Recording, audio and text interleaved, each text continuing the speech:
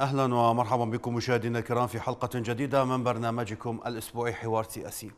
حلقة اليوم عن قرار حيدر العبادي دمج ميليشيات الحشد في قوات الجيش بالعراق وتداعيات هذا الأمر على الواقع العراقي.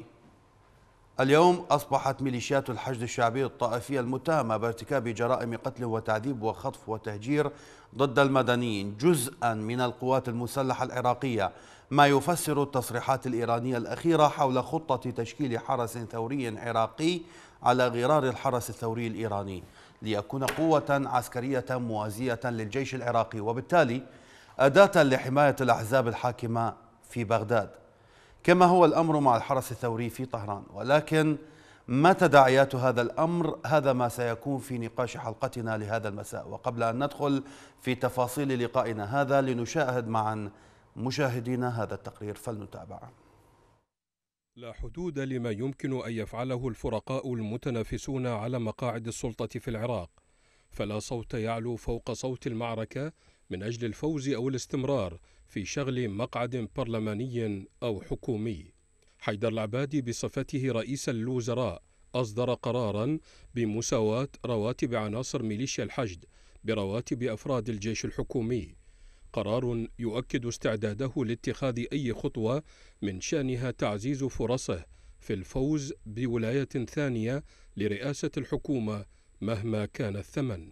فالعباد انتظر حتى هدأت عاصفة إقرار مشروع الموازنة العامة وما صاحبها من جدل واعتراضات من جانب الأكراد بل ومن جانب قيادات ميليشيا الحشد أنفسهم ليظهر بعدها بمظهر المنقذ والداعم لحقوق صغار المقاتلين في صفوف الميليشيات ليضمن بذلك دعمه الانتخابي له ولقائمته بما يمثل ضربة قاسية لتحالف كتلة الفتح الانتخابية والتي تضم كثيرا من قادة الحشد.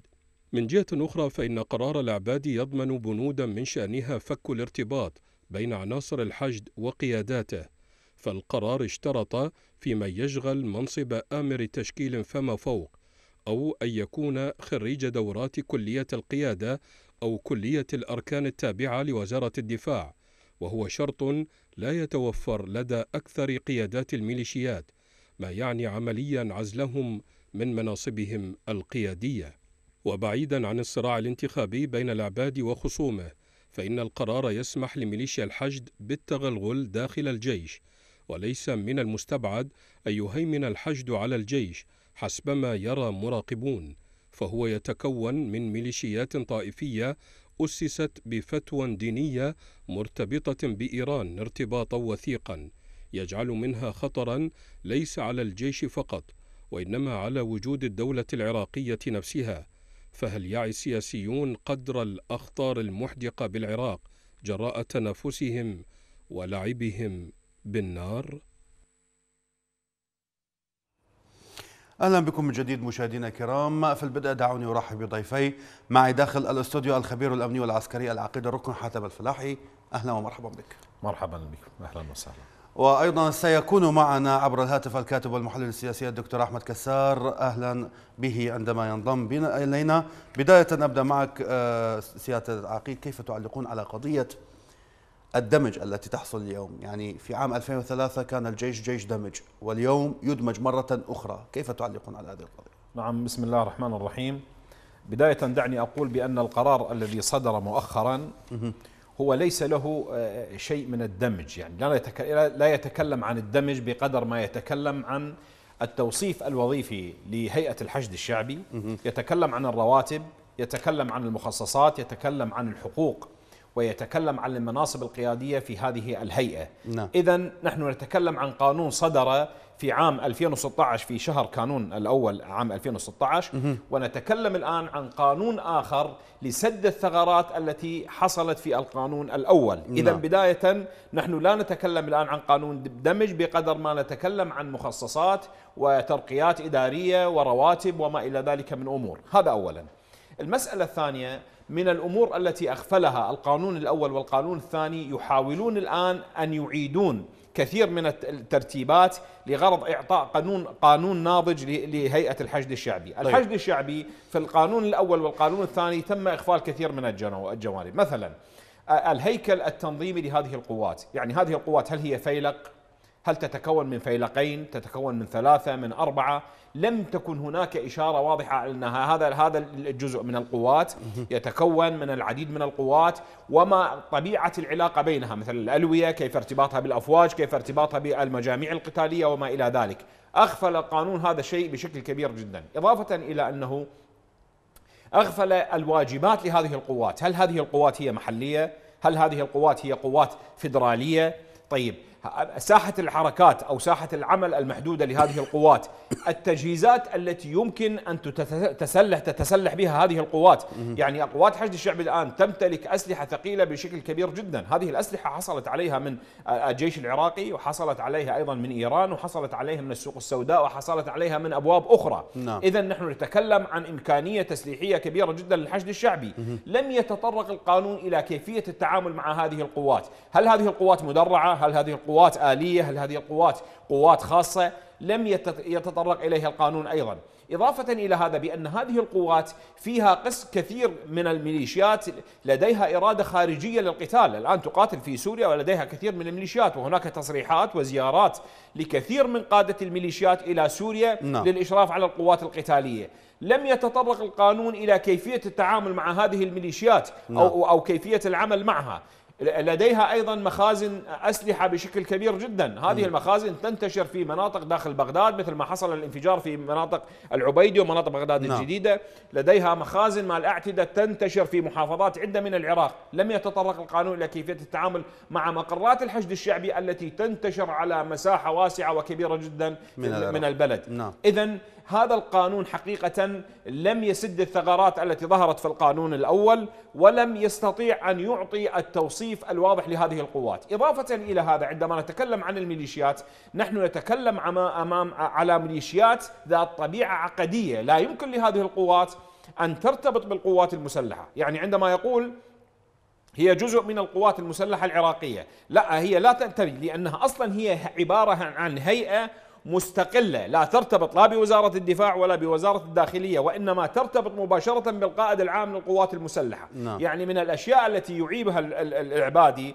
بأنه المالكي عندما كان رئيسا للوزراء كان يسيطر على وزارة الدفاع كان يسيطر على وزارة الداخلية كانت هاتان الوزارتان بلا, بلا وزراء كان يسيطر على المخابرات كان يسيطر على جميع الأجهزة الأمنية. نعم. الآن العبادي عندما يضع هذه هذه الهيئة ترتبط به مباشرة فهي إعادة للسيناريو الذي كرره المالكي في الفترة السابقة.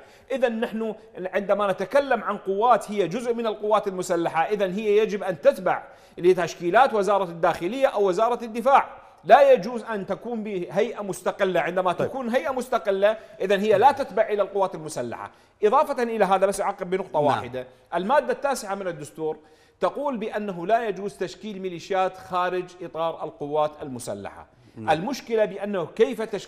تم تشكيل هذه الميليشيات وكيف تم التعامل معها حتى الموازنة في عام 2018 يعني عندما يقر هذا القانون بعد تمرير الموازنة م. هذه الرتب وهذه المناصب التي أعطيت من قبل العبادي بقرار دون أن تمر على البرلمان تحتاج إلى تخصيصات مالية هذه التخصيصات المالية يجب أن تدرج ضمن الموازنة إذا هو خلل دستوري كبير أن يصدر مثل هذا القرار نعم. بعد إقرار الموازنة في عام عام 2018 إذا نحن نتكلم حقيقة عن توظيف انتخابي لمسألة الحشد الشعبي من قبل العبادي لأن صدور هذا القرار بعد القرار الأول بسنة وأربعة أشهر يعطي دلالة واضحة على أنه الآن توظف لأغراض انتخابية وتستقل من قبل العبادي لغرض تمرير كثير أنت من ذكرت الهيكلية 120 ألف مقاتل ضمن ميليشيات الحشد الشعبي. كيف يصنفون فرق ألوية يعني كيف سيكون تصنيفهم؟ لم يتطرق القانون هي من ضمن الإشكالات هذا العدد ماذا ماذا يمثل؟ هذا هذا العدد أنا أعتقد هناك 32 ألف متعاقد أيضا موجودين هؤلاء لم يشر إليهم لا في الموازنة ولا في القانون كيف سيتم التعامل مع هؤلاء. وأعتقد من هؤلاء ال 22 32 ألف شخص هم عبارة عن الحشد العشائري الذي شكل في مناطق السنة. لأن أبو مهدي المهندس يقول بأن الحشد الذي لا يأتمر بإمرة قيادة الحشد الشعبي التي تم تشكيلها هذا لا ينتمي إلى الحشد الشعبي. وبالتالي أعتقد بأن هؤلاء تم عزلهم من قبل.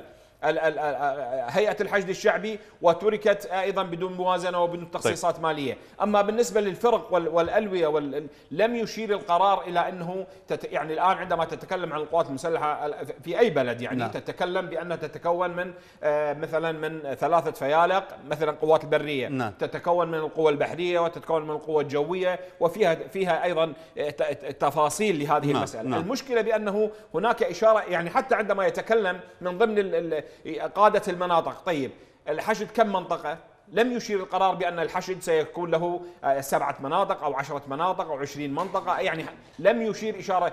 إضافة إلى هذا بأنه يضيف مسألة المبلغين الدينيين. إذا نحن نتكلم عن تشكيل عقائدي. هذا التشكيل العقائدي حتى في هذه المسألة المبلغين الدينيين تم الإشارة إليهم في مسألة القرار وفي مسألة التوظيفات طيب. التي أعطيت من ضمن المناصب لهذا التشكيل. نحن نتكلم حقيقة عن إشكالات كبيرة جدا في هذا القانون لم يتم مراعاتها لا من قبل رئيس الوزراء ولا نعم. من قبل نعم. اللجنة التي أشرفت على صياغة مثل هذا القانون الذي مرر وأصدر بدون أن يمر على البرلمان العراقي نعم آه، مشاهدينا الكرام انضم إلينا آه، من العاصمة القطرية الدكتور أحمد كسار الأكاديمي والمحلل السياسي أهلا ومرحبا بك دكتور في حوار سياسي أهلا وسهلا أهلا بك دكتور ما تعليقكم على قضية دمج الحشد بالجيش؟ حقيقة هذه من المشاكل المتفاقمة بعد يعني بعد الاحتلال الأمريكي وحل الجيش العراقي السابق ومحاولة دمج ميليشيات متهمة بالإرهاب دوليا وعمليا أثبتت أمام العراقيين أنها ميليشيات خطف ميليشيات قتل ميليشيات يعني آه، لم تأتي إلى العراق والعراقيين بخير. فمسألة الدمج مع الجيش مع آه، مع قيادة الجيش الرسمية وأن أن يكون المجرم متلبس بلباس العسكري الرسمي لكي يقود ولكي يشارك في انتخابات ولكي يحكم ولكي يسيطر. هذه شرعنه للإرهاب الميليشياوي الذي عانى منه العراقيون ويعانون الكثير. فبالتالي نحن أمام مشكلة متفاقمة جديدة وهي شرعنة يعني الخطأ. وإقراره وجعله هو الأصل وجعله هو يعني واحد من من من عوامل نجاح آه، آه، أو الحلول في العراق الجديد. فبالتالي الجيش العراقي بهذه الحالة سنقرأ كما قرأنا عليه السلام نكبر عليه أربع تكبيرات لأنه فقد كل معايير يعني العسكرية التي يعني والمعايير التي ينتمي اليها تنتمي إليها الجيوش. فبالتالي نحن أمام يعني مشكلة جديدة آه، لا يعني ليس أمامنا آه، تجاهها أمل في أن استقرار العراق ولا في أمنه ولا في مستقبله فهذا ما يجب الحذر منه حقيقة لما آه، ستؤول إليه المآلات.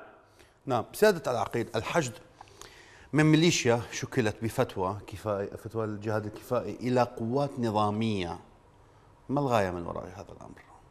نعم أكيد الغاية من وراء هذا هو بأن تكون هي القوة الأولى كما صرح بذلك فالح الفياض رئيس هيئة الحشد الشعبي صرح قبل أيام يقول بأن القوة الضاربة الأولى في العراق الآن هي قوات الحشد الشعبي والجيش العراقي سيكون ظهير لهذه القوات.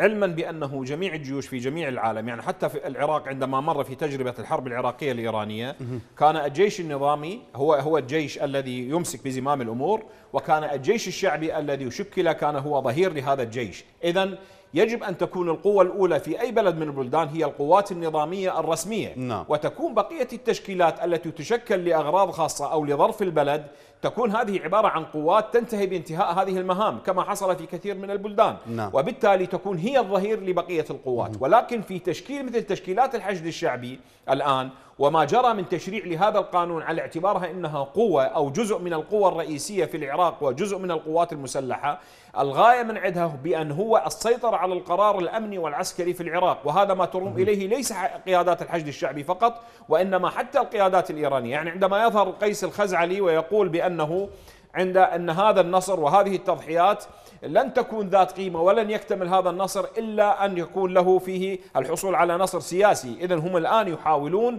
القفز من المشهد الأمني إلى المشهد السياسي من خلال السيطرة على القرار السياسي في العراق عن طريق صناديق الاقتراع، علما بأنه القانون الأول الذي صدر في عام 2016 كانت هناك المادة الثلاثة. تقول بأنه على قيادات الحشد الشعبي أن تفك الارتباط مع القيادات السياسية في حال بقائها مع قوات الحشد الشعبي خلال ثلاثة أشهر. وبالتالي نحن نتكلم عن سنة وأربعة أشهر ولا زالت قيادات الحشد هي قيادات الحشد التي تسيطر على قوات الحشد ولم يتم انفكاك من الأطر السياسية وما إلى ذلك. علما بأن القوات المسلحة في العراق نعم. يجب أن تكون بعيدة كل البعد وتنأى بنفسها عن الصراعات السياسية في العراق ولا يجوز لها التدخل في مسألة السياسة والترشيحات وما إلى ذلك. ولكن نحن نرى بأن الآن الصراع محتدم بشكل كبير جدا ما بين هذه القيادات للوصول إلى القرار السياسي بعد أن سيطروا على القرار الأمني في العراق إذا نعم. الغاية من هذه القضية هو أن يكون الحشد الشعبي هو القوى الرئيسية في العراق وهو القوى الضاربة مثل ما صرح آه، فالح الفياض في الفترة السابقة ومثل ما تصرح كثير من قيادات الحشد الشعبي بأنه الحشد الشعبي يجب أن يكون هو المسيطر على القرار الأمني وهذا تصريح نعم. للخزعلي قبل أيام نقلته كثير من الإذاعات يقول بأن حتى أخذ التوصيف بأنه يقول يجب عندما تكون لديك عشرين أسد لا يمكن أن يقودهم خروف وبالتالي نعم. يجب أن نأتي بمجموعة من الخرفان لكي يقودهم هذا الأسد اذا نحن نتكلم حقيقة عن تشكيل عقائدي يريد السيطرة على القرار الأمني وتقوم الدولة بعملية التغطية لهذه القضية نعم. بشكل كبير جدا وافسح المجال لهم للسيطرة نعم. طيب دكتور أحمد هل تعتقدون أن هذا القرار جاء ب ب يعني تفكير داخلي أو بمباحثات سياسية ما بين صناع القرار في المكتب السياسي العراقي أم أنها أتت بدفع خارجي؟ من يقف وراء هذا القرار؟ لا شك أنه هذا القرار الكبير والخطير لا يأتي من من من فاقد القرار في العراق ولذلك الملف العراقي يدار خارجيا يعني منذ الاحتلال واقليميا فعندك أنت الآن لما يعطى الضوء الأخضر للميليشيات وللجماعات المسلحة لأن تنخرط في الجيش وفي العملية السياسية هذا التوجيه يعني ذكروه قبل فترة الدول المجاورة صرحت أنه من يريد شيء من العراق لا يذهب إلى الحكومة يذهب إلى الميليشيات بيدها المفتاح بيدها الخطوط بيدها الحلول. آه، هي هي الرأس الذي يتكلم معه فبالتالي المنطقة والعالم عرفت من المسيطر آه، بهذه بهذا الاتجاه. فما عاد خافيا مسألة أنه الميليشيا الفلانية بيدها الأمر كله ان صح التعبير أمر العراق والعراقيين وأمنه واستقراره. آه، الآن أي مخطوف ممكن تعرف الجهة التي خطفته، أي مقتول تعرف من الذي قتله واغتاله. المسألة باتت واضحة، الحكومة ليس لها من الأمر شيء، من يريد التعامل الدول الجوار من يريد التعامل مع العراق يتكلم مع الميليشيات فالميليشيات مستقبلها بهذا الواقع هي الحاكم الفعلي العراقي هي الحاكم العسكري في العراق. فالعالم والدول المجاورة عرفت من آه، يتحدث معه. الميليشيات أثبتت وجودها والحكومة ليست لها سيطرة وهي الحكومة نفسها اعترفت والنواب سمعتهم أكثر من مرة يقولون أنه الميليشيات آه، هي التي آه، تقود العراق وطبعا قيادة إلى الهاوية، قيادة إلى آه، إلى الإرهاب، قيادة إلى الدمار، قيادة إلى الفساد المالي والإداري، المشاريع الآن التي تنفذ لابد أن يكون لها نسبة تخرج إلى الميليشيات على مستوى الإعمار، على مستوى المشاريع كافه الوهمية والحقيقية. الرواتب الفضائية لها نسبة كبيرة لقادة الميليشيات ولزعماء الميليشيات. نحن أمام وضع مأساوي متفاقم كما بينت أنه وصلت الحالة إلى أن يكون الحاكم الفعل العسكري هو الميليشيا في العراق وليست الحكومة الحالية القائمة. طيب سيادة العقيد يعني هل تعتقدون أن لدمج الحشد بالجيش أي أضرار على العراق؟ نعم أكيد. يعني هذه المسألة مضرة بالجيش العراقي اولا يعني. يعني هذه هذه القضية يعني يعني عندما نتكلم عن آه، جيش عقائدي مثل ما يرفضون الآن حتى لا تتغير عقيدتهم أو يؤثر على العقيدة كنت أريد أن أصل إلى هذه النقطة. طيب. نعم. طيب. عندما يتكلمون بهذه الصفة إذا نحن نتكلم عن عن عن ميليشيات عقائدية. هذه الميليشيات إذا رجعنا إلى سيرتها في المعارك السابقة التي جرت في العراق ونرى ما التصريحات التي أطلقت في الفلوجة من قبل الخفاجي عندما تكلم كلام أو عندما وضعت صور النمر النمر وعندما وضعت صور الصواريخ اللي اتجهت إلى الفلوجة وما إلى ذلك أو تصريحات قيس الخزعلي باتجاه الموصل وما إلى نحن نتكلم عن عن ميليشيات عقائدية، هذه الميليشيات العقائدية لها ولاء خارج البلد، وبالتالي نحن نتكلم عن قوات تسيطر على القرار الأمني، ولكن ولاءها ليس للعراق وإنما ولاءها لبلد آخر، اذا هذه تؤثر على العراق بشكل كبير جدا، هذه تحدث انقسام في في الوحدة المجتمعية هناك انقسام في وحدة القرار وفي وحدة القوات العسكرية العراقية وحدة القوات المسلحة تؤثر تأثير كبير جدا لو كانت هذه القوات هي جزء من القوات المسلحة لتم دمجها من ضمن تشكيلات القوات المسلحة نعم. ولكن الآن حتى حتى في القرار الأول عندما صدر تم الاستثناء من شرط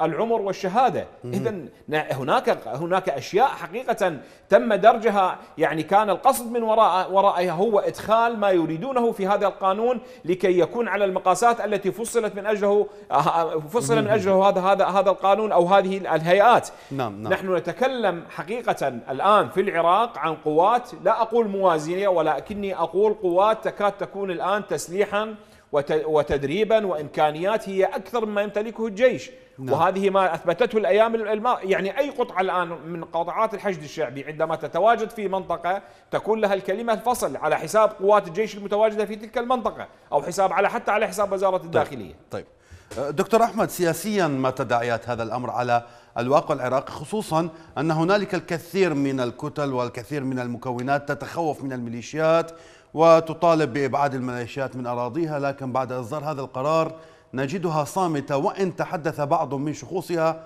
ولو بحرج. الحقيقة هو الخطر. الميليشياوي في العراق لا لا يهدد العراقيين فقط وإنما يهدد الدول الجوار أيضا. يعني نحن سمعنا أكثر من مرة نية هذه الميليشيات فيما بعد العراق. يعني ما هي الدول في قائمتهم التي ممكن ان ان أن يشاركوا في في الدخول إليها؟ ودخولهم علني الآن كما تعلم في سوريا مثلا. نعم. فبالتالي يعني لا مثلا كردستان شمال العراق آمنة من الميليشيات ولا المناطق الجنوبية حتى آمنة. فبالتالي هم آه، آه، عندهم نفوذ توسعي يريدون من خلاله الوصول إلى إلى أهدافهم. آه، العقدية والايرانيه وغيرها فبالتالي هذه هذا الخطر لا يهدد العراقيين فقط. الخطر يهدد المنطقة. المنطقة ودول جوار العراق تحديدا دولة دولة عدا إيران. هي مرشحة لهذا الخطر. فبالتالي نحن عندما نتكلم عدم دمج هذه الميليشيات في الجيش بل عدم وجودها أصلا وإنهاء وجودها العسكري لأنها غير قانونية في العراق ومحاربتها كما تحارب الجماعات المسلحة الأخرى هذا هو الأصل الذي يجب أن يكون في العراق لكي يأمن العراقيون ولكي تأمن الدول المجاورة على نفسها. فالخطر حقيقة حادق بالجميع وبالتالي آه، هذه الميليشيات آه، هي أثرها السلبي يعني متوسع ولها آه، صولات وجولات ونيات واستعدادات وتفكير بأن يتجاوزوا الحدود العراقية إلى الدول الأخرى. فهذا ما يجب ان ننتبه إليه فمن يسكت اليوم على جرائم الميليشيات فإن هذا الخطر أو هذه النار ستصيبه عاجلا أو اجلا لا قدر الله. نعم سيادة العقيد أنت ذكرت قضية العقيدة القتالية. ميليشيا الحشد رفضت الاندماج بالجيش العراقي أو بالقوات الأمنية العراقية قائلة إن ذلك يفقدها عقيدتها القتالية. فعليا هل تمتلك ميليشيات الحشد أي عقيدة قتالية؟ إن كان نعم فما هي هذه العقيدة؟ نعم هي حقيقة العقيدة القتالية التي يقصد بها هي العقيدة الطائفية لهذه الميليشيا ليس إلا يعني يعني ليس العقيدة القتالية الجيش عندما تبنى العقائد العسكرية للجيوش نعم. تبنى بناء على التوجه السياسي لهذا البلد على المذهب الديني في بعض الأمرار ويؤخذ في نظر الاعتبار التهديدات التي يمكن أن آه، تحدق بالبلد في خلال الفترة المقبلة. وبالتالي تؤخذ مسألة الإمكانيات لهذا البلد الإمكانيات البشرية والاقتصادية وما إلى ذلك. جميع هذه الأمور تؤثر على العقيدة العسكرية لهذا الجيش. نعم. هل هذا الجيش وطني؟ هل هذا الجيش عقائدي؟ الدمج الذي جرى بعد عام 2003 الذي قامت به الإدارة الأمريكية حقيقة أعطت لهذا الجيش الصفة الطائفية لأنه تم حل الجيش النظامي وأبدلته بميليشيات طائفية جاءت من إيران ومن مناطق أخرى وهذا نعم. ما ما صرح به ما اتخذه برايمر في قراره رقم 91 لعام نعم. 2003 الذي سمى الميليشيات بسبع ميليشيات من ضمن هذه الميليشيات هي ميليشيات بدر وميليشيات حزب الدعوة نعم. اذا نحن نتكلم عن ميليشيات تجذرت في المؤسسة الأمنية لذلك كانت هناك الكثير من الاعتراضات حتى على المؤسسة العسكرية في الفترة السابقة بأن هذه المؤسسة هي مؤسسة أصبحت طائفية وذلك لأنها دمجت فيها عناصر تنتمي إلى هذه الميليشيات الآن حتى في مسألة التقديم إلى القوات المسلحة. هناك فقرة من الفقرات يجب أن تذكر هل أنت سني أم أنت شيعي. اذا نحن نتكلم عن هناك تجذير لمسألة الطائفية حتى في المؤسسة العسكرية العراقية. فلذلك الحشد تم تشكيله من طائفة واحدة ومن لون واحد. وبالتالي دمج هذا ال ال ال ال هذه الهيئة مع وحدات الجيش العراقي قد يتأثر بمسائل كثيرة. كون إن هذا الجيش لا زال يعني نعم. فيه شيء من من من مثل التوجه الذي يمكن أن نقول يمكن أن يبنى عليه في المستقبل رغم كل الحالات اللي جرت عليه في السابق. نعم. لكن فيه من الشيء الذي لا لم يصيبه الضرر الكبير في مسائل كثيرة. ولكن مع هذا هم لا يقبلون حتى بهذه بمسألة الدمج مع القوات المسلحة حفاظا على العقيدة القتالية لأن نعم. العقيدة القتالية للحشد الشعبي قد تبنى على أوامر تأتي من الخارج وبالتالي الجيش إذا كان ضمن وحدات الجيش العراقي مثلا قد لا تأتمر بمثل مثل هذه الأوامر نعم. فهنا تكون العقيدة القتالية قد قد قد أذهبت كثير من التفاصيل التي كان يريدها الحشد بما فيها الخروج خارج الحدود وما إلى ذلك طيب دكتور أحمد هنالك سؤال يحيرني اليوم خرج مقتطف إلى إلى الشعب على شاشات التلفزة قال فيه آه، أحد قيادات ميليشيا الحشد أن الحشد هو يجب أن يكون رقم واحد في العراق وأن تكون مرتباته رقم واحد في العراق وأن يعطى امتيازات كثيرة جدا. طيب ماذا عن مئات الآلاف الذين قتلوا بدم بارد على يد هذا الحشد؟ طبعا مثل ما حيرك يحير كل عراقي مهتم بالشأن بشأن العراق والعراقيين. الحقيقة آه، كما تعلم ويعلم الجميع أن العراقيين بينهم وبين الميليشيات ثارات وليس ثار واحد.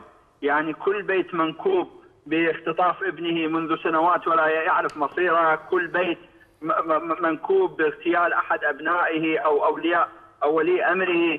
هذه من الذي يعني قتلهم؟ آه، عندما علموا عندما علموا أن القاتل وأن المجرم وأن المختطف وأن المبتز هو كان من الميليشيا الفلانيه، طيب أنا هذه الميليشيا لما يكون بيني وبينها صار بيني وبينها محاكم، بيني وبينها المفروض قضاء يأخذ حقي ثم فيما بعد نتكلم عن عن مسألة دمج أو مسألة هم اوصلونا الآن نتكلم عن مسألة دمج الميليشيات في الجيش، طيب هذه الميليشيات أصلا ما وضعها القانوني آه، وما وضعها الحقيقي في المجتمع العراقي، يعني نحن الآن نتكلم عن مسألة دمج وهي وهي أصلا المفروض لا تكون أصلا لا في الدمج ولا في الواقع ولا في حياة العراقيين الآمنة المستقرة، فبالتالي عندما يطالبون بأحسن الرواتب وأعلاها وأفضل المعيشات وأفضل المخصصات.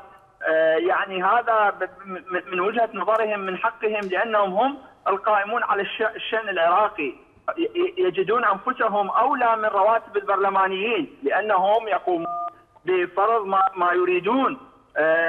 امنيا أو سلب الأمن يعني فرض الأمن أو أو عدم ايجاده في في مناطق محددة. فبالتالي ينظرون أنفسهم الميليشيات في العراق تنظر إلى نفسها أنها أولى من البرلمانيين وأنها أولى من السياسيين وأنها أولى من الحكومة. نعم. وحق لهم ذلك بنظرهم بنظرهم لأنهم يجدون أنفسهم هم الحكومة هم الدولة هم البرلمان يفعلون ما يشاءون. كل الأمور بأيديهم، كل الوساطات ممكن تجي من تحتهم، كل المقاولات والإحالات ممكن أن تحال عن طريقهم، فبالتالي ما الذي ينقصهم كمسمى دولة إجرامية تفرض نفسها بالقوة على العراق والعراقيين؟ فهذه المطالبات هي جزء من من توسع نفوذهم داخل العراق وأنهم يجب أن يستأثروا بثروات العراق ومكوناته ومقدراته وواقعه وسيادته. سيادة العقيد القرار الذي آه، قرأه العبادي على الشعب يعطي الكثير من الامتيازات لميليشيات الحشد منها دخول الكلية العسكرية أو الدخول في كليات الأركان وقيادات الحرب. هذه الميزات بماذا ستنفع الحشد أو بماذا ستعود عليهم؟ نعم هم يؤسسون حقيقة من خلال هذه القرارات التي تصدر. لبناء قوة عسكرية خارج هيكلية القيادة القوات المسلحة العراقية. وبالتالي يجب أن يخضعوا هذه إلى التعليم الأكاديمي في الكليات العسكرية وما يقابلها من كليات أخرى مثل الكلية الفنية العسكرية وما إلى ذلك. هم يحاولون حقيقة من خلال هذه القرارات بأن يدمجون هذا الحشد بحيث تكون لديهم إمكانيات عسكرية برتب مختلفة نعم. ولكن أنا أسأل يعني حتى في مسألة بناء الاستراتيجية العسكرية لبناء القوات المسلحة كيف سيتم إدارة مثل هذه الملفات يعني يعني الآن عندما آه، توضع استراتيجية للبناء آه، آه، تعرف أنت ما هي الحاجة البلد الآن من كذا رتبة يعني نعم. هذه الرتبة نحتاج مثلا 600 ضابط من هذه الرتبة نحتاج كذا موظف فني من هذه يعني هناك بناء استراتيجية كيف سيتم توظيف هذه الإمكانيات ودمجها من خلال الحشد الشعبي. هم الآن لا يوافقوا حتى على مسألة يعني الآن من رتبة آمر لواء وفما فوق يجب أن يخضع إلى موافقة رئيس الوزراء وقسم منها إلى موافقة البرلمان نعم. زين بقية الرتب ما دون هذه الرتبة هي تخضع لصلاحيات قيادات الحشد وبالتالي يمكن لك أن تأتي بأي شخص وتضعه في أي موقع قيادي من ضمن هذه المواقع نعم. نحن نتكلم حقيقة من خلال هذه القرارات على بناء مؤسسة عسكرية آه، خارج إطار الدولة بشكل كبير جدا ولا أستبعد في الفترة المقبلة أن تكون لديهم معاهد وأن تكون لديهم كليات عسكرية وأن تكون لديهم كلية أركان على غرار الحرس الثوري الإيراني آه، في التشكيلات وما إلى ذلك من تسليح وتجهيز آخر. نعم مشاهدينا الكرام حوار سياسي مستمر فيه فاصل قصير وثم نعود ابقوا معنا.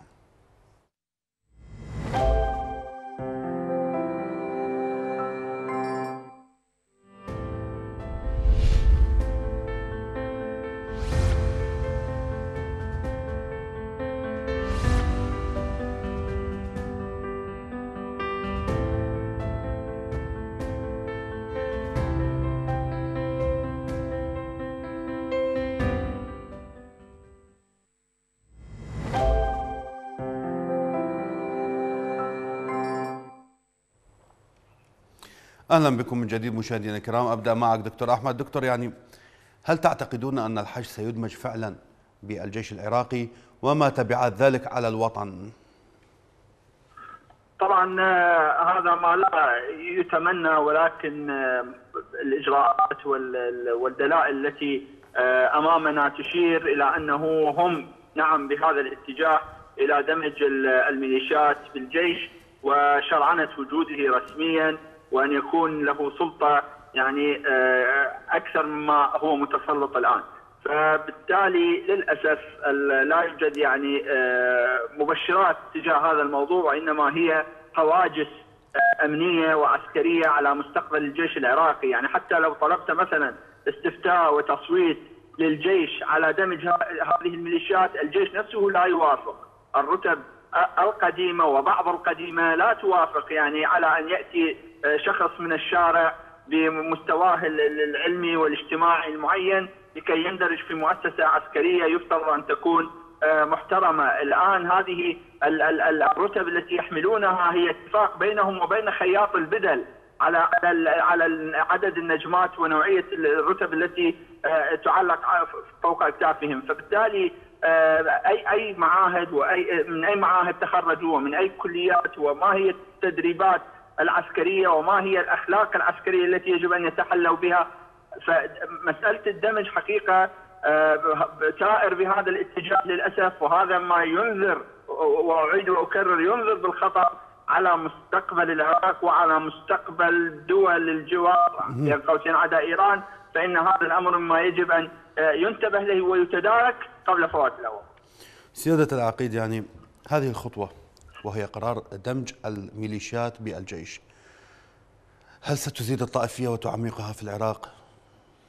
نعم أكيد هذا هذا القرار سيعزز مسألة الطائفية بشكل كبير جدا، كون اولا هذا القرار عندما مرر في البرلمان لم يكن بتوافق الكتل السياسية حسب ما كان معمول به سابقا ما بين الكرد والسنة والشيعة وإنما تم تمريرهم من قبل الشيعة مع رفض كامل للسنة ومع تقريبا انسحاب لقسم من نواب الكرد. نعم. إذا نحن نتكلم عن قانون بالبداية هو شرع بتفصيل طائفي وبفتوى طائفية من قبل حكومة حكومة العبادي.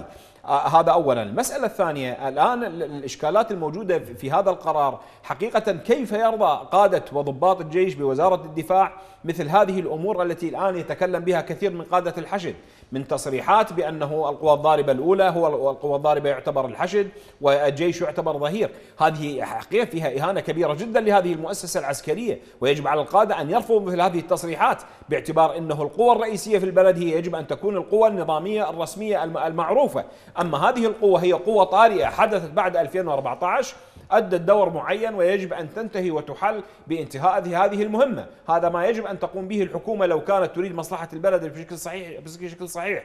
ولكن بقاء هذه المؤسسة على ما هي عليه بعد أن سيطرت وتغولت في مؤسسات الدولة وسيطرت على القرار الأمني وسيطرت على القرار تقريبا السياسي بشكل كبير جدا. نعم. يعني الآن ما يريد ما يريده الحشد يمرر في البرلمان سواء شاء شاءوا أم أبوا. وهناك أنا أعتقد بأن الانتخابات القادمة ستوصل الكثير من هؤلاء إلى سدة الحكم في العراق وبالتالي نحن نتكلم عن تشكيل سيؤسس لطائفية جديدة في العراق بعد أن قلنا بأن هذه السنين قد قد يعني قد مضت على مسألة الدمج الأول الكثير من السنين ويمكن للناس التي دمجت يمكن أن يحال إلى التقاعد ويمكن أن يخرج يمكن أن يكرم ويمكن أن يعطى بعض بعض المميزات ويخرج من الجيش ولكن إضافة مثل هذه المؤسسة إلى الجيش واعتبارها هيئة مستقلة هي ضربة كبيرة جدا للمؤسسة العسكرية النظامية. نعم، دكتور أحمد العراقيون اليوم آه، الكثير منهم يطالب بحل الحشد وكذلك الكثير من السياسيين طالبوا بحل هذه الهيئة، لماذا تجاهل العبادي هذا الأمر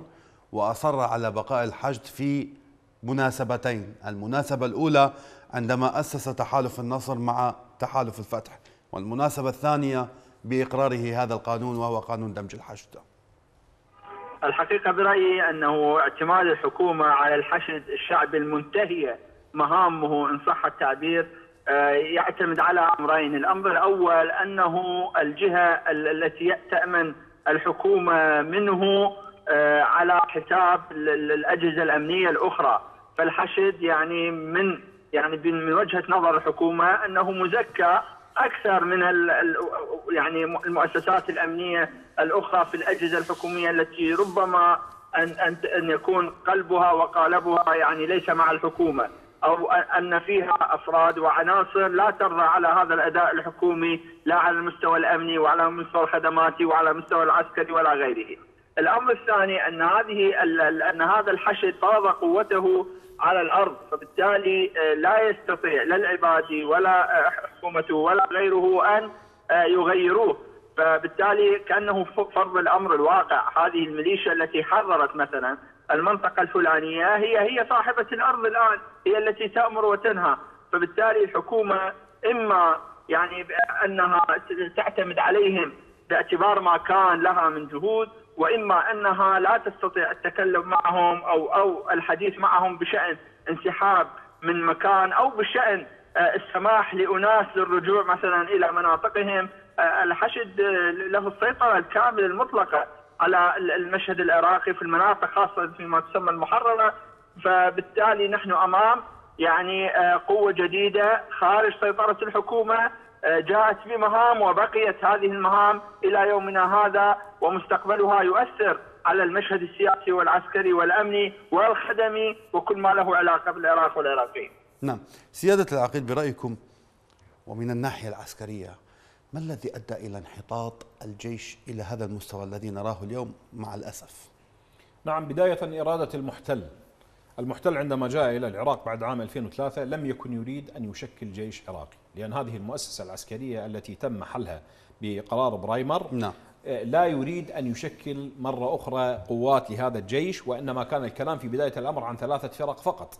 هذا أولا. المسألة الثانية المحاصصة الطائفية التي جاء بها الاحتلال بعد عام 2003 هذه أنهت المهنية والحرفية في الجيش. وبالتالي نحن نتكلم عن مؤسسة فيها ولاء طائفي لأحزاب ولشخصيات معينة. نعم. هذه أيضا أثرت على الجيش بشكل كبير جدا. إضافة إلى هذا بأنها دائما المؤسسة العسكرية تكون فوق الميول والتوجهات السياسية للشخصيات وللأحزاب ولما إلى ذلك. ولكن نرى بأنه في العراق حقيقة هذه المؤسسة سيست بشكل كبير جدا من قبل الأحزاب السياسية. عندما نتكلم فرقة هذه الفرقة ولاءها مثلا إلى الصدر كما حصل مع فرقة 14 عندما كانت في مدينة البصرة. نعم. وعندما تم توجيه الأوامر بالدخول أو بالقيام بعمل عسكري رفضت هذه الفرقة وانسحبت وتركت العجلات. إذا نحن نتكلم عن ولاء حقيقة سياسي سياسي لطوائف ولأحزاب وما إلى ذلك. الفساد الإداري المستشري في العراق عندما يتكلم المالي العبادي عن وجود 55 ألف فضائي في هذا الجيش. إذا نحن نتكلم عن مؤسسة عسكرية آه، حقيقة آه، وصلت إلى مرحلة من الانحطاط بشكل كبير جدا. إضافة إلى هذا حتى التسليح وحتى التجهيز والتدريب. خضع لمؤسسات تدريبية متعددة. هذه المؤسسات التدريبية إذا لم توحد ستسبب انقسام كبير جدا في مؤسسات الجيش وفي عمل هذه المؤسسات في الواقع الميداني. وبالتالي نحن نتكلم عن مدرسة بريطانية ونتكلم عن مدرسة أسترالية ونتكلم عن مدرسة أمريكية ونتكلم عن مدرسة الآن إيرانية بالنسبة للحشد الشعبي لأنه التجهيز وما إلى ذلك ميليشيات الحشد الشعبي الكثير منها خضعت خضعت للتوجيهات الإيرانية. وبالتالي نحن نتكلم عن مؤسسات تدريبية متعدده لهذا الجيش أدى إلى انقسام آه، وحدة آه، المؤسسة العسكرية، اذا هناك أشياء كثيرة أدت إلى وصول الجيش إلى هذا المستوى من ضمنها نعم نعم. التسليح الذي سلح به الجيش بعد عام 2003 لا إيران تريد أن يكون للجيش العراقي تشكيل قوي ولا أمريكا تريد أن يكون الجيش قوي لأنه عندما يكون هناك جيش قوي لا بد للقوات الغازية أن تخرج من العراق نعم. ولا بد للتدخلات الإيرانية أن يكون لها حد في في في مسألة التدخل في الشأن الداخلي العراقي ونرى التصريحات التي صرحوا بها الكثير من القيادات الإيرانية بأن العراق أصبح جزء من الإمبراطورية الفارسية ومع هذا لم يخرج مسؤول لا عسكري ولا مدني يرد على هذه التصريحات التي خرجت من قبل المسؤولين الإيرانيين. نعم، دكتور أحمد إضافة إلى العراقيين المتخوفين من ميليشيات الحشد الشعبي هنالك مطالب دولية على مستوى رؤساء دول مثلا رئيس فرنسا إيمانويل ماكرون الذي طالب مرارا بحل ميليشيات الحشد الشعبي هذا القرار وهو دمج الحشد الشعبي بالقوات المسلحة أو بالجيش العراقي ألا تعتقدون أنه سيؤثر سلبا على علاقة العراق مع المجتمع الدولي؟ المجتمع الدولي طبعا وخاصة مثلا يعني فرنسا تفهم اللعبة الأمريكية في العراق فعندما يصرح يعني آه، مسؤول اوروبي على على وجه التحديد بان الميليشيا هو هو يقصد يعني الأثر الأمريكي الذي آه، زرعته في في من خلال هذه الحشد أو من خلال هذه الميليشيات. فبالتالي المشهد السياسي أو العسكري والامني واضح للغرب وواضح لدول الجوار ويعرفون يعني ان أن هذا أن الخطر في الميليشيات أن الخطر في الحشد آه، آه، إذا استمر أو إذا اندمج في المؤسسة العسكرية. فأنت عندما تسمع هذه التصريحات وعلى مستوى أعلى آه، لا شك أن العلاقات السياسية ستؤثر والعراق اليوم آه، كما تعلم بحاجة إلى يعني أقل الدعم واكثره من قبل يعني خاصة الاتحاد الأوروبي أو الدول العظمى. ف وما شاهدناه في مؤتمر الأعمال مثلا مثال على ذلك. نحن آه، بهذا بهذا التورط تورط دمج الميليشيات أو الحشد بالجيش هو آه، هو هو حقيقة في الأصل آه، يعني تدمير للعلاقات لعلاقات الحكومة الحالية نفسها بالغرب. فيعني هذا القرار إن رضي رضيت عنه أمريكا وإيران فلن ترضى عنه الدول، لن ترضى عنه الدول الجوال، لن ترضى عنه لن ترضى عنه المؤسسات.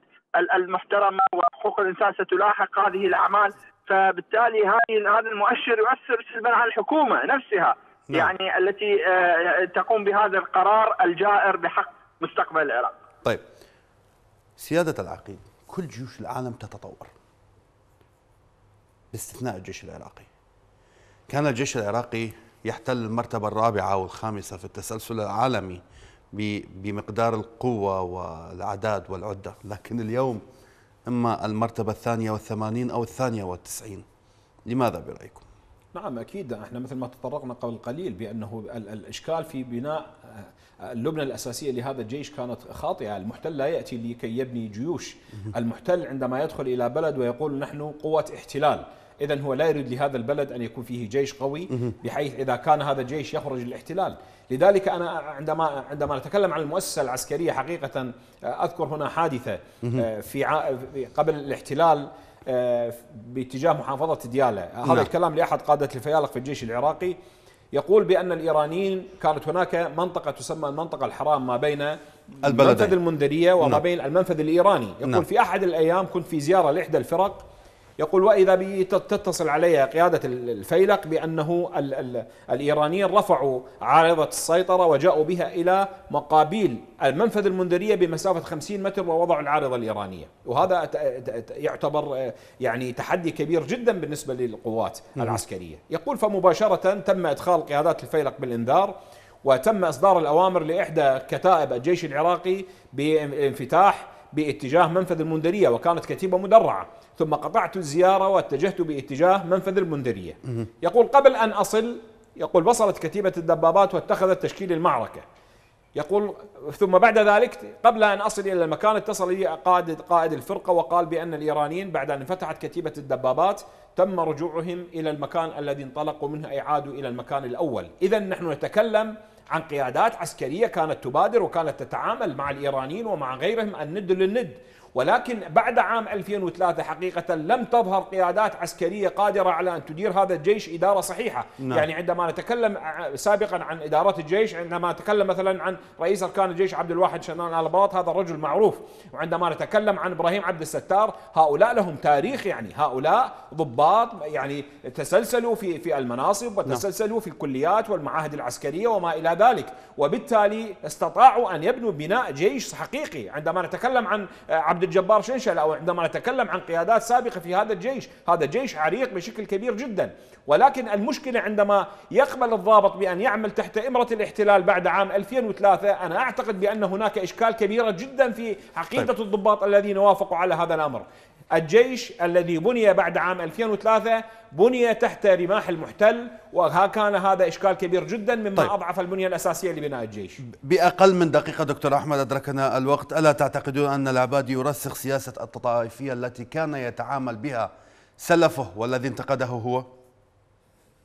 بلا شك هو يكمل ورقة من أوراق هذا المشهد السياسي والعسكري والأمني المفروض على العراق والعراقيين وليس باختيارهم ولا بإرادتهم. ولكن هذه الورقة طارئة وأن هذا مستقبل القرار الدمج وغيره مستقبل فاشل يضاف إلى فشل الحكومات المتعاقبة في في ظل وبعد الاحتلال السوري الذي آه، نعيشه. فبالتالي آه، هذا البناء الباطل حقيقة مستقبله أيضا آه، الرفض نعم، وعدم نعم. قبوله من العراقيين. الأكاديمي والمحلل السياسي الدكتور أحمد كسار كنت معنا من الدوحة شكرا جزيلا لك بعجالة الحلول ما هي؟ الحلول بأنه حقيقة مسألة أن يكون جيش موازي أو هيئة موازية إلى القوات المسلحة هو إشكال كبير جدا في بنية القوات المسلحة العراقية ويجب أن تكون إذا أرادوا حتى مسألة الدمج كان يجب أن تدمج كأفراد ولا تدمج كميليشيات لأن دائما الميليشيات عندما تدمج كميليشيات كبيرة ومجموعات كاملة تبقى مشاكل. تحتفظ وبعقيدتها الطائفية لهذه الميليشيات طيب. ولكن عندما يدرجون كأفراد ويتم تكريم هؤلاء لأنهم قاموا بدور معين وي ويتم إذابتهم من خلال المؤسسة العسكرية نعم. نعم. التي تخضع لكثير من القوانين إذا ما رجعنا إلى إلى الفترة السابقة نرى الانتهاكات التي كانت من قبل ميليشيات الحشد واضحة وجلية. العقيد الركن حاتم الفلاحي الخبير الأمني والعسكري كنت معنا في حوار سياسي شكرا جزيلا. في الختام مشاهدينا الكرام قرار دمج الحشد العراقي بالجيش أثار ضجة سياسية وإعلامية حيث وضعه البعض في نطاق التسليم الكامل لإيران ولمشروعها. محللون قالوا إن هذا القانون يشرع امرا واقعا ولكن اعطائه الصفة القانونية يعني كأنك تمنحه تأشيرة مرور لكل مرافق الحياة الوطنية من الاجتماع إلى السياسة وصولا إلى الاقتصاد إلى آخره.